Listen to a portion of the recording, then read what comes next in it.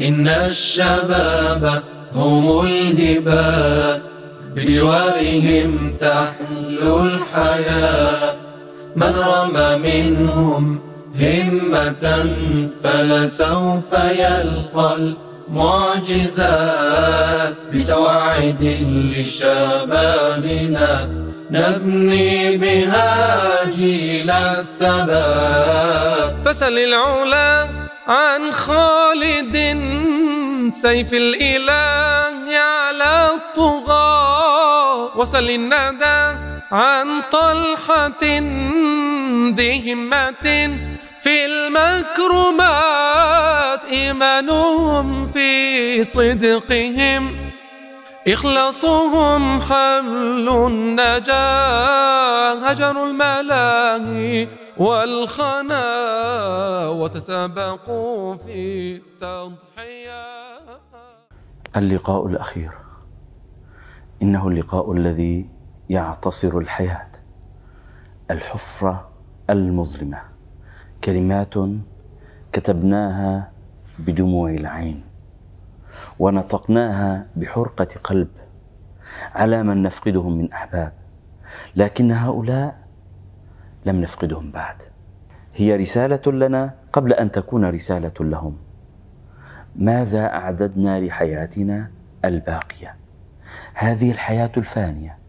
ما زال في العمر بقية.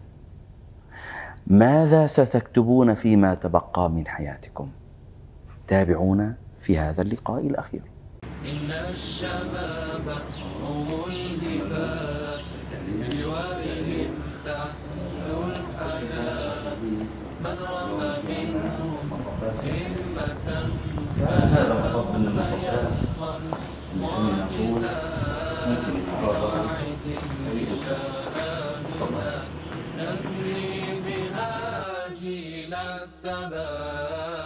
فسل العلا عن خالد سيف الإله على الطغاة وسل الندى عن طلحة ذي همة كان الأستاذ مصعب نجار رحمه الله مدرسا محبوبا في قلوب طلابه هينا لينا مفعما بالحيوية واللطف حازما من غير قسوة لينا من غير تهاون. لقد تميز بطريقة إعطائه الرياضيات بحسب الوقت وما يناسب الشباب. حمل مع تدريسه روح الأب الحنون المؤثر في فئة الشباب فكأن رسالته في العصر الحديث تأكيدا لهوية الشاب المسلم في منهج واضح.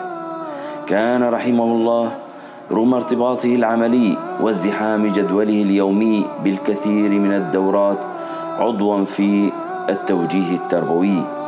لدعم التعليم والوقوف في صف الطلاب في كل الأوقات. كان يحفز شباب أمتنا يبذل هنا ويفرح هناك ويضمد الجراح هنا ويواسي هناك.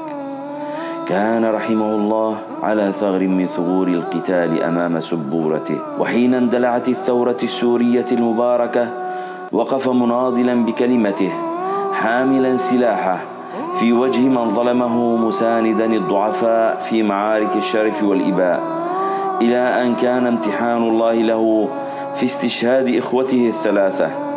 ذلك الحدث الذي جعل من الأستاذ مصعب رحمه الله راعيا لثلاث أسر مضمدا جراحهم وهو الذي ينزف ألما يساند وهو الذي يحتاج السند. فالغوالي رحلوا في سبيل الله.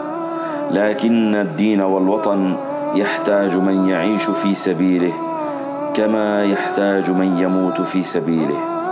كان رحمه الله باسما صامدا جبلا ينصر الضعيف ويداوي الجراح حالما بمستقبل ينعم فيه مع أبنائه بالحرية والكرامة تسوده الرحمة والعطاء. لكن لا بد من الأفول ولا بد للورد من الذبول. حمل رحمه الله مع رحيله الكثير من أسرار انتصار ثورات الشعوب. كان يتمنى أن يحقق أمانيه الكثيرة التي تخدم دينه ومجتمعه قبل أن يودع هذه الحياة. لكن ساعات الإنسان معدودة وأنفاسه محدودة وعقارب الساعة توقفت بأمر ربها العلي القدير وكان الموعد الأخير تقبل الله شهيد الشباب وأسكنه جنات تجري من تحتها الأنهار. وقد نضرت يا رحمن وجهه بالنظر إلى وجهك الكريم. جمعنا الله به في أعلى جنان الخلد إن شاء الله الله. ونحن نكتب الكلمات. لم نتبع لك الزفرات. ونحن نسجل هذا المقطع. أعدناه عدة مرات. هل نجرؤ أن نسجل مثل هذا الحدث؟ لكن حقيقة أن ال- الحياة هي مطبات. فنعتبر هذا المطب في مسيرة حياتنا. أمد الله بعمرك وجعلك ذخرا لأولادك ولأبناء إخوتك ولمن حولك ولطلابك ولأمتك إن شاء الله. لكن بعد هذا المشهد رسالة تقرأها من هذا المشهد. الرسالة الثانية هي كلمة أو رسالة توصي بها زوجتك توصي بها أولادك؟ أولادي طبعا بوصيهم تقوى الله. وطبعا ومثابرة ونحن بنضل على ما على ثواب الثورة. وإن شاء الله كنا وسنبقى إن شاء الله؟ بالنسبة لطلابي بتمنى لهم التوفيق. هل أنت نادم على هذه الثورة؟ لا والله. أنا فقدت أك... إخوتك الثلاثة. أنا والله أكثر من مرة والحديث صار جرى مع الشباب. قالوا جرد الغاز وكنا بنزين وكنا عايشين وعايشين كهرباء. قلت لهم أنا ما بتمنى أكون إخواتي الثلاثة طيبين هلأ ويكون الثورة ما قامت لأني كنا رح يعني رح نخسر كثير شلون؟ بالنسبة لطلابي أنا بتمنى إني يعني يعني يستفيدوا من هال مثل هالحدث هذا. ونحن بالنسبة لنا يعني اللي يعني اللي توفر لهم ما توفر لحد عارف شلون؟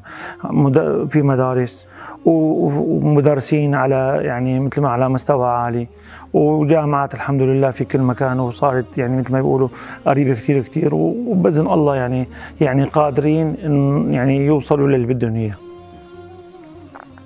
رسالة لزوجتك.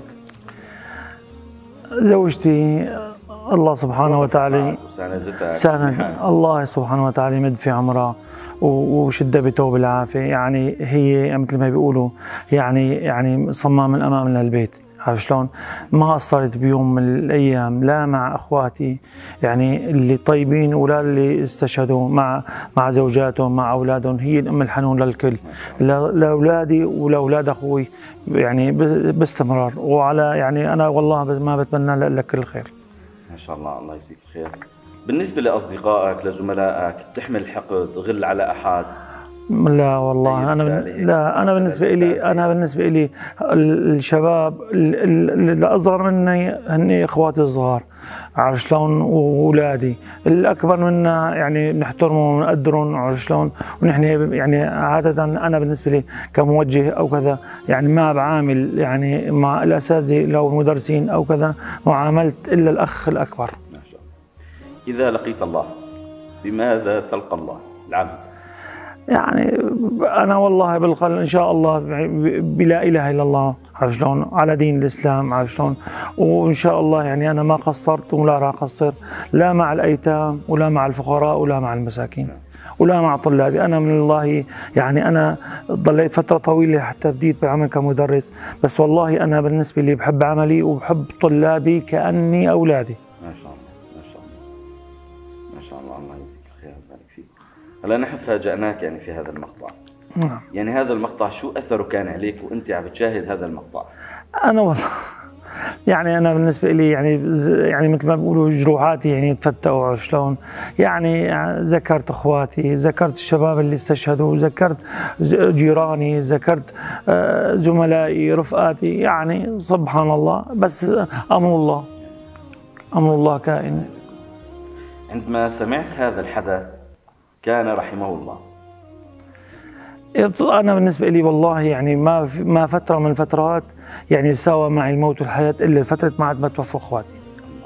يعني أنا بالنسبة لي جاهز لأي لحظة يعني الله سبحانه وتعالى ياخذ أمانته. يعني إن شاء الله أنا ما قصرت وما راح أقصر لاخر رمق الله يمد بعمرك إن شاء الله وتبقى إن شاء الله هيك ذخر لأولادك ولعائلتك ونحن بنعتذر نحن إذا فتقنا جروحات. لكن أحببنا إنه تكون هي رسالة لنا ورسالة للمجتمع رسالة لأبناء رسالة لكل الناس إنه هذا الوقت سيأتي. نعم. صدق. نعم. سيدنا عمر كان يقول مات فلان ومات فلان ومات فلان وسيأتي اليوم الذي يقول الذي يقال فيه مات عمر. نعم.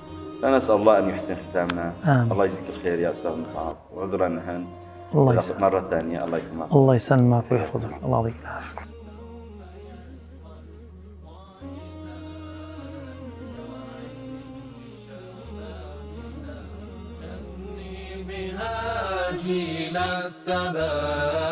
فسل العلا عن خالد سيف الإله. وسل الندى عن طلحة ذي همة في المكرمات إيمانهم في صدقهم إخلاصهم حمل النجاة هجروا الملاهي والخنا